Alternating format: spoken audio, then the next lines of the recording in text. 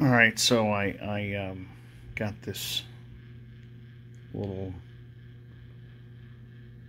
epoxy on here, thread sealer, and I went ahead and taped around the thread just so I can get a nice clean line of epoxy around the thread. and um,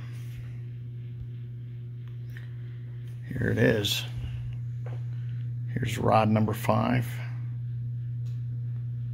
I don't think I need to fire it. Looks pretty good. Looks good with the the second coat. Um, we'll see how it dries.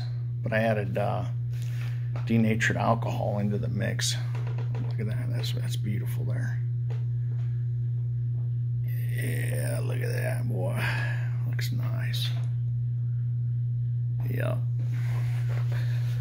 Best job so far.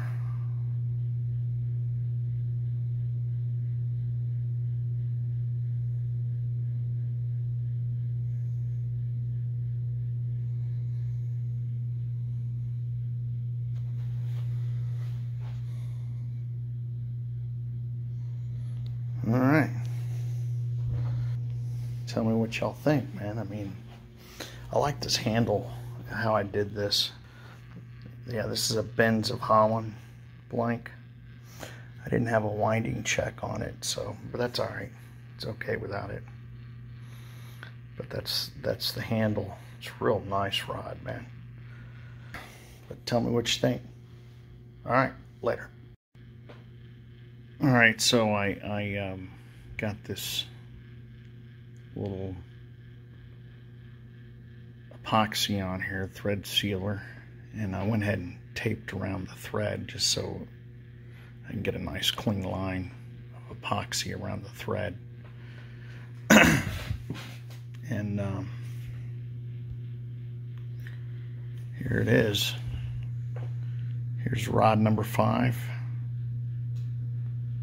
I don't think I need to fire it. Looks pretty good. Looks good with the the second coat. Um, we'll see how it dries. But I added uh, denatured alcohol into the mix. Look at that. That's that's beautiful there. Yeah, look at that, boy. Looks nice. Yep. Best job so far.